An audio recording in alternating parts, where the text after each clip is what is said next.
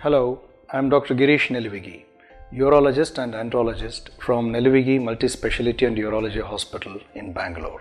Hello, stricture of the urethra is a condition where there is a narrowing of the urethra. Now, what is urethra?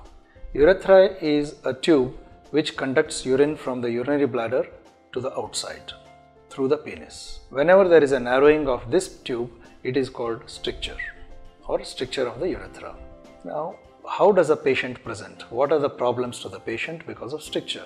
The person suffering from stricture of the urethra will have poor stream of urine, which means the urine does not fall far away from the feet of the patient, but instead it falls very near to the feet of the patient. Sometimes they have to use force to pass urine, and sometimes the person feels that he passes urine but still something remains inside. Sometimes there could be burning sensation while passing urine. What are the causes of stricture of the urethra? The most common cause in our country is infection of the urethra. Infection of the urethra could be because of urinary tract infection or sexually transmitted diseases or some other infections. There are conditions like BXO, which is probably an autoimmune disease, which also results in stricture of the urethra.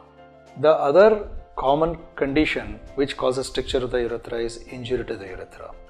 This occurs whenever there is an injury to the penis or injury to the perineum, either because of the road traffic accident or by fall.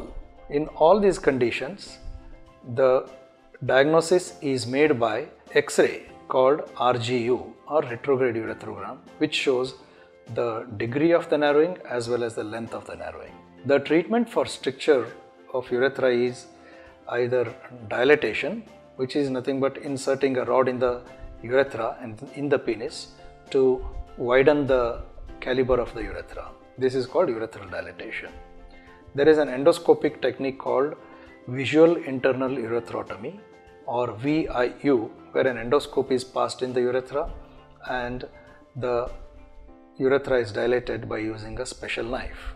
If all these measures fail, or if the stricture of the urethra is extensive, then an open surgery called urethroplasty is advised by the urologist. There are various types of urethroplasty.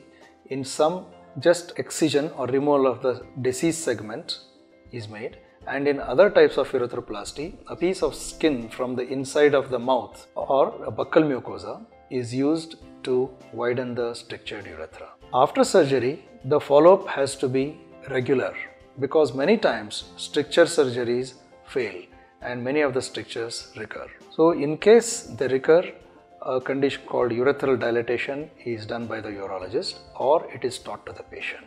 However, with our improved understanding of the disease and improved surgical techniques, stricture urethra can be effectively treated.